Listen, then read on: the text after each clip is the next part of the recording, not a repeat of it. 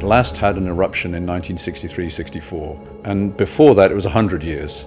So a number of these volcanoes have long repose intervals, and we get a better idea of their behavior if they erupt more frequently. Sometimes the magma can rise, but that need not necessarily lead to an eruption. And there have been some wonderful cases where things have just stalled. For example, in the case of Rabaul on the island of New Britain in Papua New Guinea, there was a major seismic crisis, just like the one occurring below Agung in 1981. And many people thought, well, this is about to erupt. But everything stalled, everything calmed down.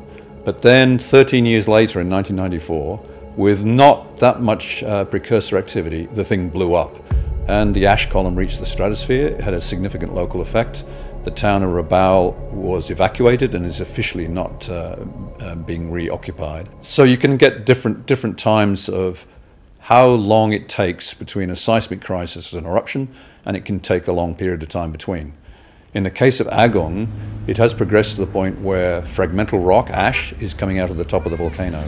That's bad news for people in Bali because now it looks like the magmatic system has fractured its way up towards the surface.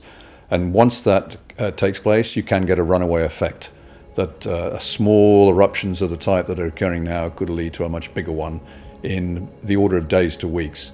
But it may calm down again. Everything become quite tranquil and the people would be uh, safe to go back to where they were living.